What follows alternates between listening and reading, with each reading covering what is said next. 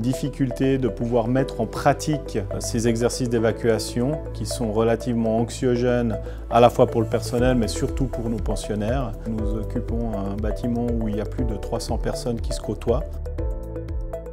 On l'utilise juste après la théorie. Ça permet en fait de voir si on a vraiment bien compris, si on a suivi. C'est très facile de s'y retrouver. Par rapport à la police du feu, oui, on devrait avoir un exercice d'évacuation réel. On n'a pas forcément la possibilité, vis-à-vis aussi de la population qu'on accueille, de pouvoir euh, faire cet exercice avec les sirènes et des choses un peu anxiogènes comme ça. Maintenant, les nouveaux résidents ou les nouveaux collaborateurs qui arrivent passent par la case réalité virtuelle et après prennent leur place ou dans les chambres ou dans le travail.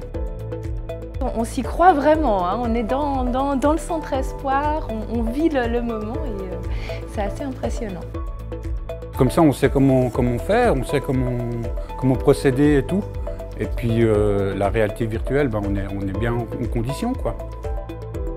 Je le trouve très intéressant, tant pour les travailleurs comme pour les habitants de le centre. Parce que s'il y a un cas d'incendie, je conseille à tous de le faire parce que c'est une bonne expérience et un bon exercice. Ça m'a aidé à bien retenir les choses puisque je l'avais fait une fois en première et je me rappelle de tout. Donc euh, vraiment un super outil. Tout le monde est impressionné par la qualité des images, par la restitution du cadre euh, du Centre Espoir. Ça permet véritablement de se projeter et en ne prenant aucun risque. Ce qui a permis la réalisation de ce projet, c'est le fait d'être face à des professionnels qui maîtrisent l'outil. Tout de suite, nous sommes sentis accompagnés dans, la démarche et grâce à cet échange constructif euh, que, que nous avons eu avec Capimage, ça nous a permis vraiment d'arriver à un résultat probant.